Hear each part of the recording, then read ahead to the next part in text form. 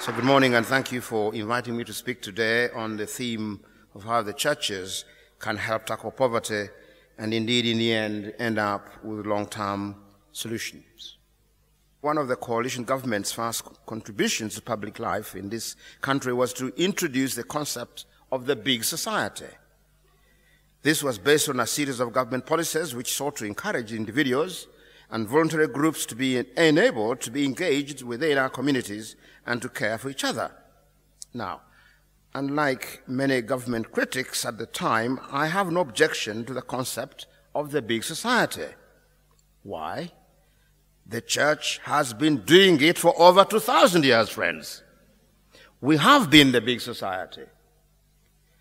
However, the government's promotion of the big society concept, friends, was followed almost immediately by the comprehensive spending review.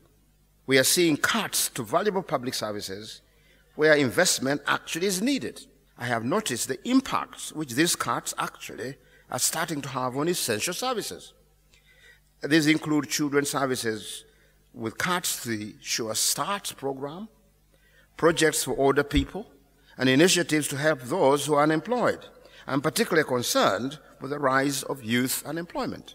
In this context, we need to consider what the church actually can do at every level to tackle poverty. What can we do to make a real difference and one which will actually have a lasting impact?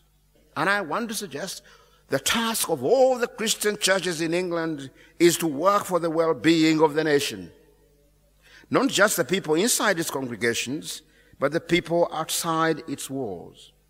We must not maintain our own comforts and ease of life by condemning others to live lives of discomfort and hopelessness. I believe it's at the local level that churches can have the best and the most long-term effect on tackling poverty. That is because we have a wealth of experience and skill in serving local communities. This has often been built up over decades of Christian witness and active support to people in the local community, particularly the lonely and the vulnerable. Often the churches have been the only organizations to have done this and have built up a unique insight into the needs of their particular area.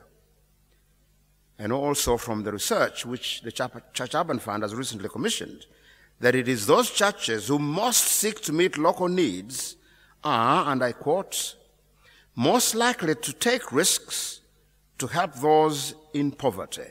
I have seen this at first hand from my visits to parishes throughout the northern province. I have seen parishes undertaking excellent love in action, projects to tackle poverty, including providing debt counseling, creating training and apprenticeship schemes, and mentoring support and employment opportunities. And one of the best ways in which we can tackle and sustain and take sustainable steps to tackle poverty is by learning from each other and by building up effective partnerships. This is what this conference is about today. Remember that with God, all things are possible.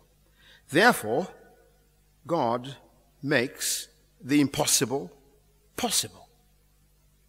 So, in the power of the risen Christ, this Eastertide, let's do all we can to challenge the evil of poverty, and in so doing, transform lives. We are in the people processing business to see them transformed from glory to glory.